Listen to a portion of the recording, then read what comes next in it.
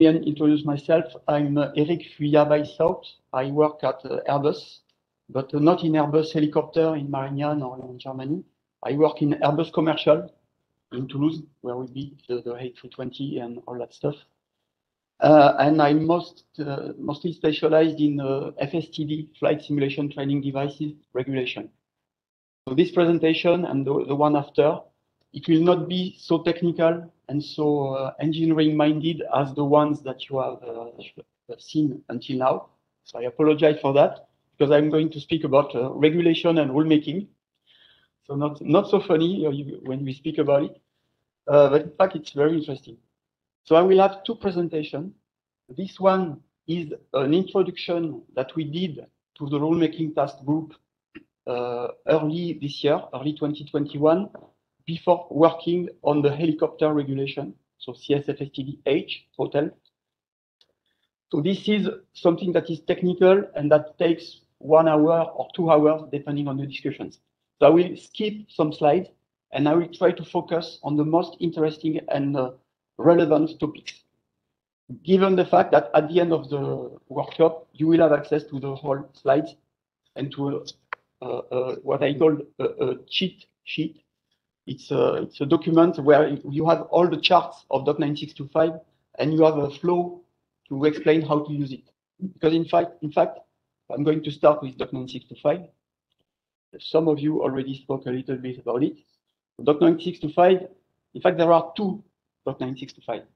There is Doc 9625 volume 1 for aeroplane, and there's also Doc 9625 volume 2 for helicopter. The structure of both documents is the same, and they have been done in the same mindset by different teams. So there is a common skeleton that we can see. The task of rulemaking, rulemaking task 196 that I chair uh, is to improve and to uh, adapt the requirements for the FSTDs in order to make the use of FSTDs more a matter of training tasks drive the training tool rather than always use the FFS level D. And I will not question the relevance of FFS level D. Uh, it is what it is, and this is the best we can do. And we have objective tests and subjective tests that could go together in order to make sure it's a good device. And uh, so it's not only about objective tests and uh, tolerances, it's also about the judgment of pilots, which is uh, the most important according to me. So I will speak a little bit about history. I need to try to use that stuff. Can I can I point and Yes, wonderful. So I will try to, to do a little bit of history because it's a, it's a long, long lasting history. And then I will explain in a detailed way part one, part one of the document, which, which is about the training tasks. And then I will go a bit quicker on what is related to the FSTDs, but I will explain the big concepts anyway. So let's go.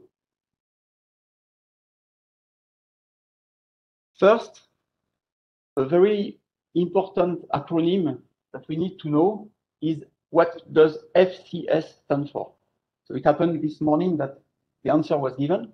So it means FSTD capability signature. The FSTD capability signature is a way to define and to describe the capability of an FSTD of a device. It means that until now, what we used to do uh, is say, okay, I have an FFS level D. I have an FTD level 3. This type of thing. But what does it mean inside? With the FCS, as I will explain, we can have a more detailed and modular description of the capability of the device. So the evolution starts with a big picture with plenty of uh, experts. So this is the working group that worked on the helicopter on volume two, document 6 to volume two. It was in 20, uh, 2010, and the document was released in 2012. So there are plenty of uh, people that you may recognize. There is uh, one good colleague of mine who is uh, René Tassin from Airbus Helicopter. And uh, you can recognize also uh, Stéphane Clément, Tariq Kay, Arnab Lahiri from the FAA, and a few other ones. So this is a, an awful slide. And we always show it because we want to show the, the way the regulation has evolved over time. And it has been a bit messy. And it still is. Worldwide, it is still a bit messy because there are plenty of variances, delta from country to country, but there is a common spirit. So I will go quickly to the, the important part. In fact, it is there is a backbone, and this backbone is DOC 9625. And there are also, I would say, national regulations that have been feeding this DOC 9625 at the beginning, and now it's DOC 9625 that feeds the re regulations. And when we came, so this is the aeroplane world, I forgot to mention. When we came to this version of DOC 9625 in the aeroplane world in uh, 2009, it was a revolution because it was the first time when DOC 9625 addressed in the same document the training aspect and the simulator aspect. So it's a big step, a quantum leap, and it's one of the main reasons that made the adoption of this version of DOC 9625 so difficult. Because for a regulator, it's a nightmare. Because you have to modify your training regulation at the same time as your simulation regulation. And it does not happen every day. You have to have the stars well aligned. And in fact, the stars were never aligned until very recently. When we started rulemaking task 196, we started with implementing UPRT, upset prevention and recovery training and stall requirements because it was a high priority for safety. And the next step, it was indeed to embed the concepts of DOC 9625 into the EASA regulation. That means that indeed, we did not modify in rulemaking tasks task 196 only the CSFSTD alpha for the aeroplane. We modified also appendices to part FCL, part ARA, part ORA. And it's very important to take note of that because we had a great opportunity to have all this aligned in time. So we started with aeroplane, taking into account the edition 4 of DOC 9625. And then this is the slide on the, on the helicopter, and it is, it is a bit simpler, which is good. In fact, volume 2 of DOC 9625 was issued in 2012, 2012. And there is a task in the rulemaking task 196, which is to do the same job as we did for the aeroplane, but for the helicopter. Take the same mindset, modify the training regulation and the simulation regulation at the same time. I will explain a little bit uh, later more details about rulemaking task 196 uh, structure. But I wanted to mention this as a, as a preamble. Now, let's have a look at volume two and the big structure. There are three parts in DOC 9625, always. One, two, three. The first part is about training requirements. So there are plenty of matrices depending on, on the type of license, depending on the type of training, you want to do training or training to proficiency, and depending on uh, your, your training objective. I will explain that. So then there is a volume 2 part 2 and a volume 2 part 3, which are focusing on the FSTD. The part 2 is about predefined FSTDs.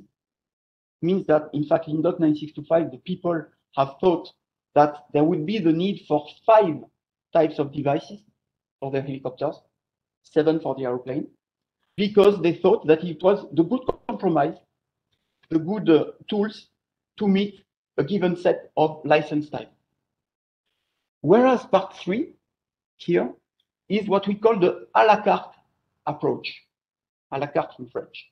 Uh, so what does it mean? It means that in this part three, you have the opportunity to define the device you want and put the cursors wherever you think it's important. For instance, if you need a very high visual cueing and a very low motion cueing, you can do that.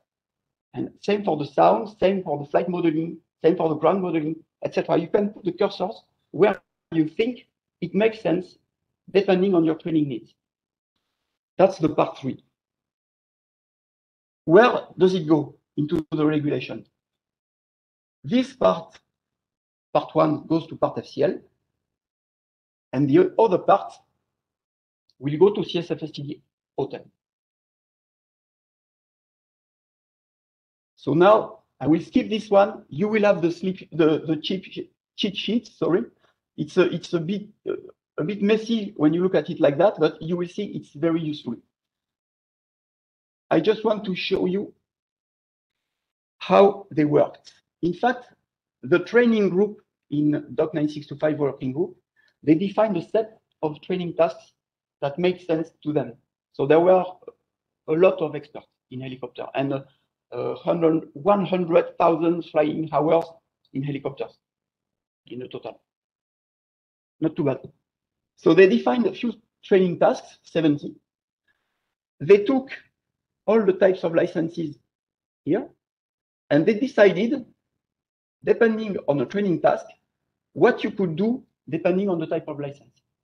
For instance, if you are doing ground taxiing, you can do it for your PPL and for your CPL, but you cannot do it for your IR.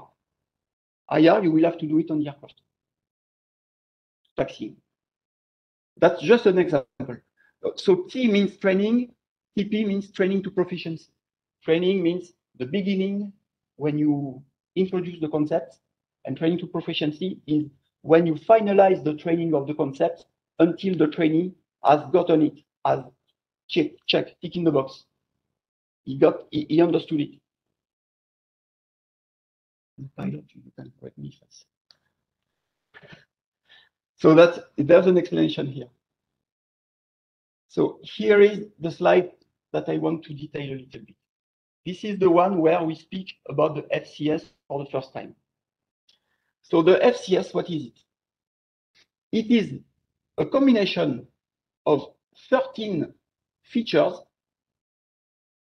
There will be five features that are related to the modeling of the aircraft. So you will have flight modeling. So the first one is the flight deck, the, the cockpit layout and structure. It means that it can be uh, an embedded cockpit where you feel like you're in the aircraft. It can be touch screens in a, in a, in a room like that. So it can range from various uh, possibilities. Flight modeling, ground handling, I think it makes sense to all of you. The systems, very important in training. Systems, it, it is mainly what simulators are used for especially in commercial aviation. Uh, we, we use them to, to do all the procedures, all the malfunctions, all the normal, abnormal, emergency procedures of the quick reference handbook. And it, it lasts for hours to, to check all that and work as a crew, etc., etc. So the systems are paramount for the for the simulator in training and the simulation of malfunctions as well. And then we have the flight controls and forces meaning that the realism of the primary flight controls, the control loading, the feedback that you have when you touch the controls. And uh, of course, if you have a, a, a, side stick, a joystick like that is a gaming uh, side stick, uh, it is not the same as an aircraft uh. So that's where you can have plenty of differences. So cueing, we spoke a lot a lot about cueing this morning in the various presentations, so I will not detail. There are four cueing uh, elements. There is the audio, the visual, the vibrations, and the motion. There is a separation between the vibrations and, and, the, and the motion on the helicopters because uh, you can, can get plenty of uh, very positive uh, information from simply a vibration uh, platform. And then the four last features they are environment. So navigation, database, visual, uh, weather, and uh, air traffic uh, control, ATC. So these are the 13 features of the device. And here we have the fidelity level, so the famous or infamous NGRS, known, generic, representative, or specific. And if you combine all that, you say that you have a cockpit layout that is specific. You have a flight model that is representative, etc., etc. If you assign a fidelity level to all your features, that is what we call the FSTD capability signature, the FCS. Usually, in the old days, we used to call this the DNA of the device by analogy. But in a regulation, you cannot put DNA. Doesn't make sense. So this one is exactly the same, but diff said differently. So let's speak about the, the process. We start by looking at our training needs. This is the first step. We look at the, what is the type of license, training, training to proficiency, etc., etc. And this is what will drive my FCS, and it is not the opposite, because until now it was done exactly the opposite. We had the FFS, and we did with the FFS. And sometimes what we did in an FFS was a bit of a extra overkill. We could have done it in a, a much simpler platform. So this is the example of work that the people of the helicopter working group did on the training side. They took all the training tasks on the left. They considered every license type. For each license type, they considered was it training to proficiency or training. And on each line, they assessed what was the required FCS for this task in this precise context. And that's the approach that we have to have using DOC 9625. We have training tasks. For each training task, there is information about the FCS required. And that's what we will use in order to define the tool that we need, the FSTD that we need.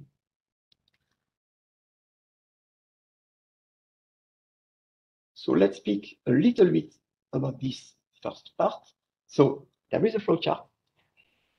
I will not focus too long on this flowchart, but the important thing is that when you stay on the mainstream of the flowchart, the yellow boxes, it means that depending on the training needs analysis that you have done, you found the device of your dreams in the part two of DOC 9625. So you don't have to do extra work. The device is already defined and you can build, uh, you can, uh, how say, you know already what are the requirements that you, have, that you have to meet. Easy part. But when you go on the right side, it means that depending on the training need, needs that you have uh, done, uh, that you have analyzed, you are not happy with the existing devices and you want to define yours. And in some cases, it might not be convenient. You might go back to your training in the analysis and rethink it a little bit. And in other cases, even after doing this extra analysis, and you go back and you have to, de to define your own device, the a la carte approach. So this is why we have the part two, which is explained, explained here, and the part three. So now I will draw a, a parallel with rulemaking task, task 196. In rulemaking task 196, what we are doing, in fact, is enabling flexibility on the definition of the devices, which means that we offer by default a set of FSTD types and levels because there is an existing uh, a big, big, big uh, ecosystem of FSTDs all over the world, and they all have an existing type and an existing level and an existing qualification certificate. And those devices, they still exist, and they will exist for a long time. So we have defined in the in our rule-making task, we have defined types and levels of devices, and we have assigned to those types and levels an FCS. Each FFS level D, FFS, FTD level 3, etc., has an FCS. That's the main difference compared to previous CSFSTD. So now that's, I think that's okay for this one. And I will just skip a little bit. Yes, here, here I am. This is something that describes the process. Let's say you want to do an engine startup. Engine startup, sorry. It means that you will need this FCS.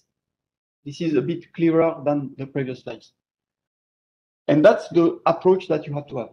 But you will not do it for each task because you would need as many devices as task. Doesn't make sense. So what you will do is that you will cluster your tasks. You will say, I want to do this, this, this, this in this step of the training. And for this, I need this FCS. So you do a roll up or roll up, meaning that here, for instance, you see that for this task, you would need representative on the flight model, but on this task, you need S. So it means that the FCS has to be the highest of all. That's the roll up. And you finish with this FCS. So that's the way you have to, to work when you do your training needs analysis, and it will define the tool you need. So that's the, that's the principle. And I think that's enough for the training needs. So yes, you see, you can see here the five types of devices that were defined in DOC 9625. Means that in the CSFSTD that we are working on currently, there will be something like that, but with FFS, FTD, FNPT, and and uh, levels, A, B, C, D, whatever. So now let's go to the second part. I will explain the FSTD part of the regulation of the, so it's not a regulation, of the manual of criteria. So this is the predefined types of devices. I just want to show you, in fact, in order to define uh, the requirements that are applicable to simulator, there are three main parts. There is what we call the general requirements. There is the validation test. The validation test, there are the famous QTG test with the tolerances, uh, etc. And usually when we think about QTG, that's what we think about. But QTG, in fact, it's a set of general requirements, validation test, statement of compliance also, and functions and subjective tests. And if you want to define a simulator and qualify it, you have to meet all that. It's not only uh, having uh, all your QT uh, validation tests within the tolerances. The pilots have to be happy after flyout. And you have to have the right cockpit. For instance, this is the chapter one of the general requirements. It is all that is defining the, the cockpit layout and structure. And you can see that, for instance, for the type 3, you will need to have cockpit lighting that is this is just an example etc. So the second part, as I said, it's about the validation test. So these are the famous ones, the tolerance, easy, easy peasy. But clearly you can have a very, very uh, bad FSTD with a very, very good uh, set of validation tests. Totally agree. The validation tests are not enough. So this is an example. When you have a type 3 device, those requirements apply to you So you, you do your market, in fact. You, you have your shopping list, your ticks, and this gives you the requirements that are applicable. For the functional subjective test, same. So that's for the approach where the devices are already defined. In the case where it is a la carte, it is a little bit the same, in fact. But instead of having, I'm going to go quickly, instead of having types of devices on these columns, you will have fidelity levels. That's all. So for each feature, each fidelity level, you will have applicable requirements. In that case, we took the systems here. And in the case where your system is at S level, you have the explanation on the slides. It is exactly the same requirements, in fact. You have the same requirements as in the part two, but the columns are not the same. That's the difference. So we have an example with a little animation. That's all. Okay, yeah. Easy. Now, it's the same, it's an explanation. Up. I'm going to go to the validation test. Yes, here.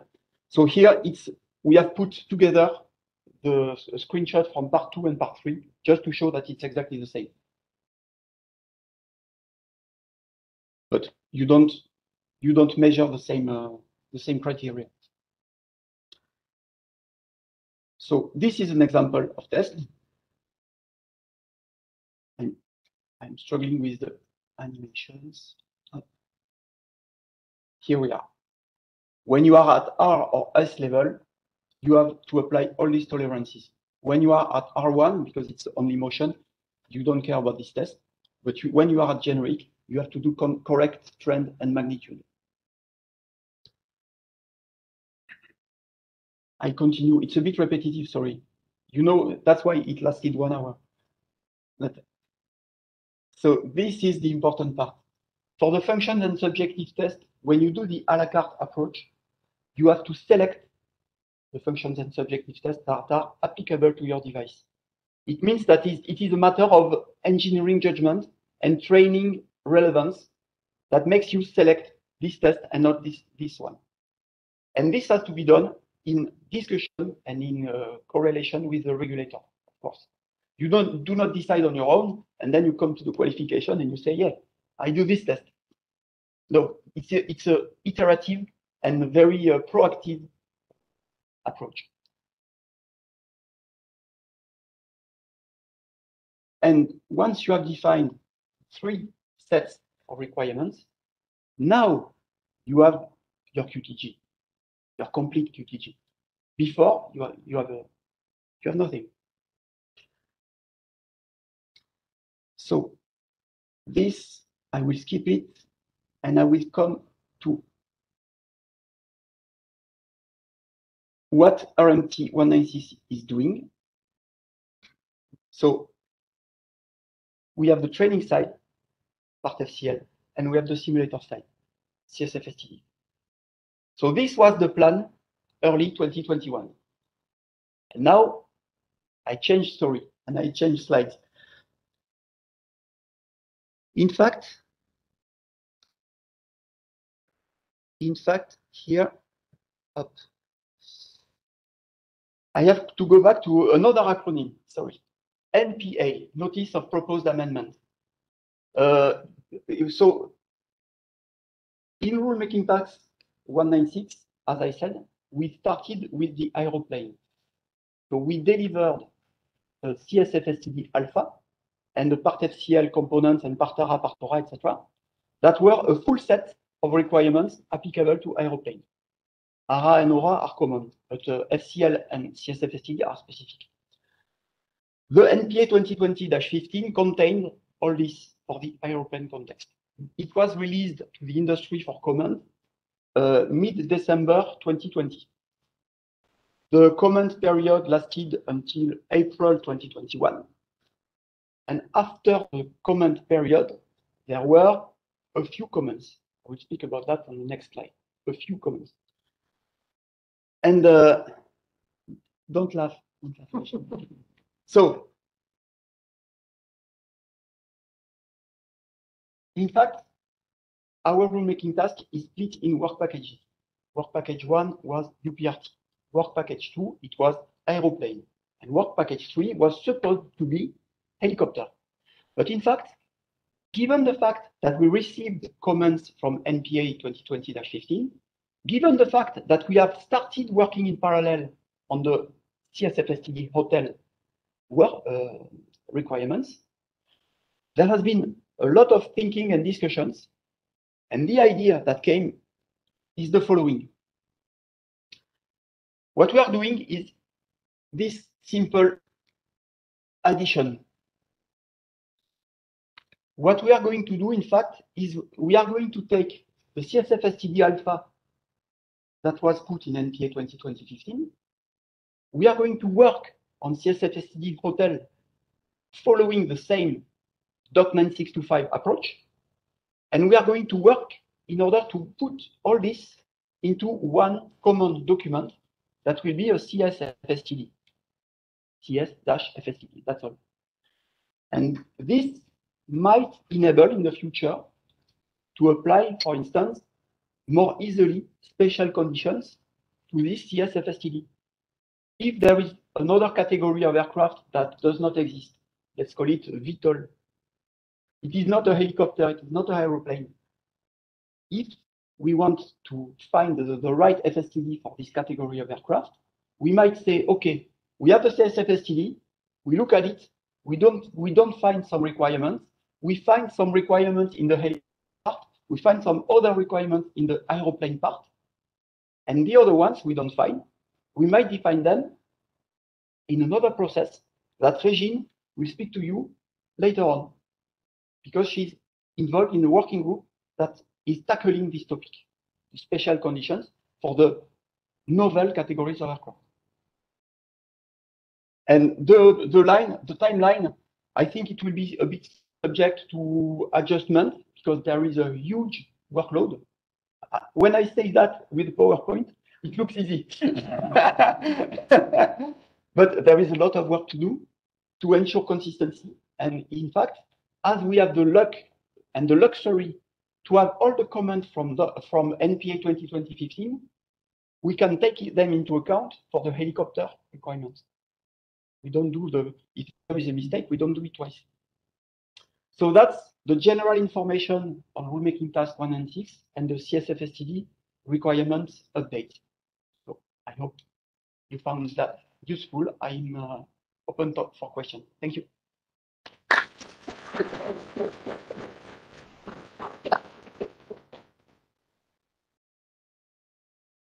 Questions?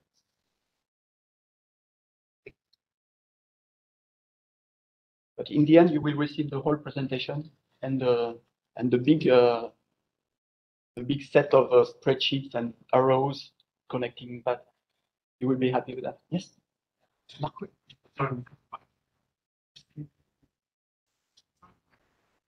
Yes. Yes. So 2021 is the review of NPA 2020-15. Then we plan next year, somewhere next year, Q3, we see. We plan to to publish an opinion. And it, I speak we, uh, but I speak on behalf of EASA. It is EASA. I'm just the chairman. Don't shoot the chairman. you you want to you want to add thing maybe Dan? larger.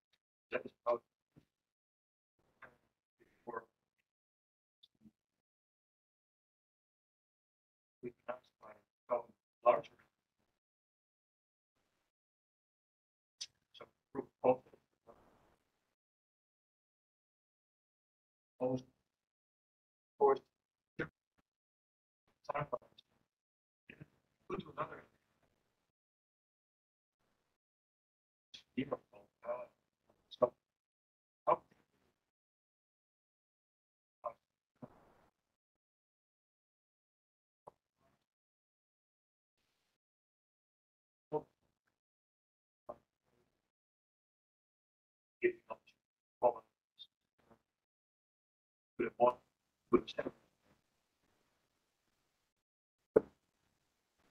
of course, you can see is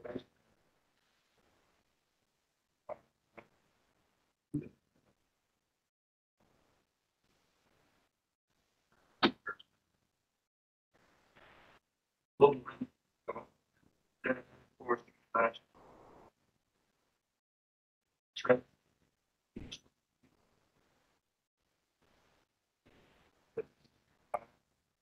So we've already requested to be reasonable in this decision.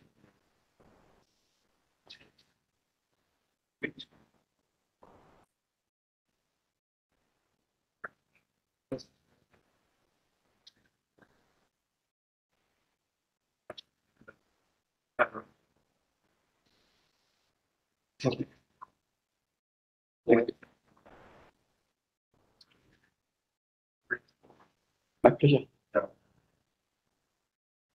Yes, I have a question. So, uh, in the EASA, uh, there's a roadmap, uh, artificial. So according to that time scale at twenty thirty, so that will be uh, one single pilot operation.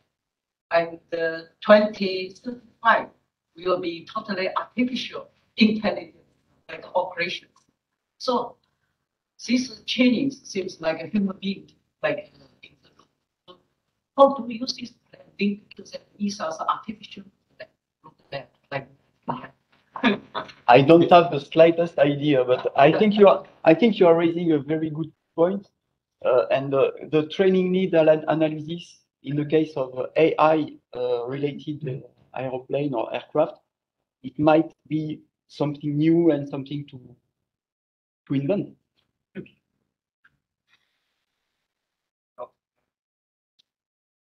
Yeah. We, we, we want to finish, we want to finish one and six before. Want to add something, Dan? No, I have maybe a question or a Yeah. comment, which I found very interesting when I looked at the nine sixty-five. uh, When you look at the uh, type of licenses, you can do the training on efficiency or checking according to the EASA. Uh, It uh, took my attention that the PPL, lower level licenses were only considering training. Okay, so training proficiency was not in the scope. And I understood from some discussions with people which actually were in that uh, uh, working. Is that because at the time where they defined the licenses and whether you could do training or only training and checking, the technology, okay, was not there that could be feasible to do training to proficiency. So what I would like to comment is that maybe also this kind of assumptions, okay, is today's uh, greater simulation capabilities okay. Yeah. might not be true anymore. Yes, I, I, you're totally right, Andy. Something very important to mention as well is that uh, what I described in the first presentation, it was Doc 9625. In the EASA context, the whole training needs analysis and the training task and the fidelity level assessment, etc., it is done by a group of experts. Hamdi is leading this group, and uh, there are uh, training experts, pilot, helicopter pilots, heli- helicopter instructors who are defining a matrix with all the training tasks and all the FCS required for this task. And this was done for the aeroplane, and this is done for the helicopter. And it is it will be done with the new data that we have in 2021 and 2022, of course. And the, the, the game has changed. Yes, you're very right. Thanks.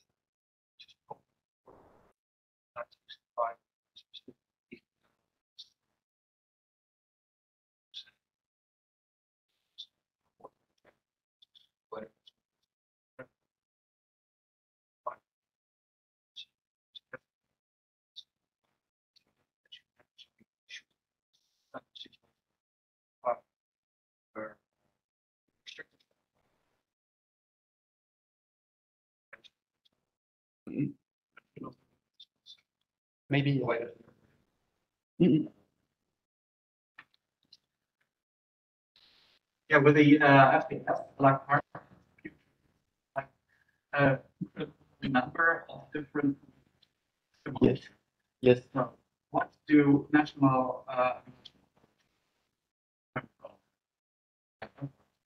is a bit scared.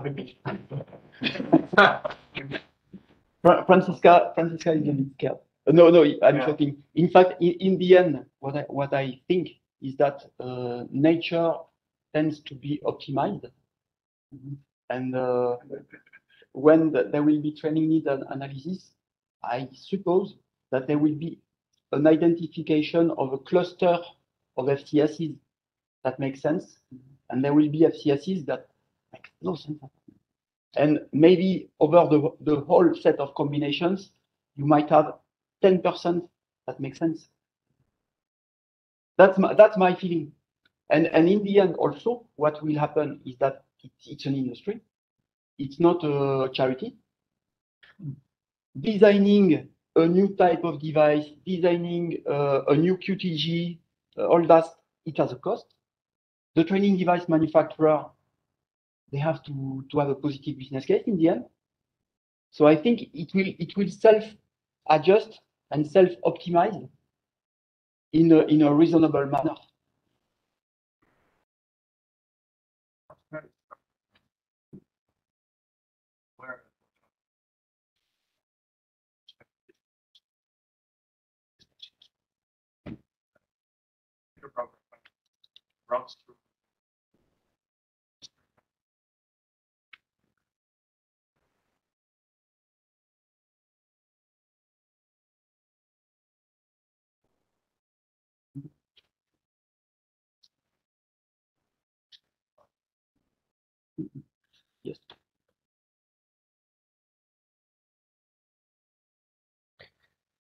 Okay, thank you very much.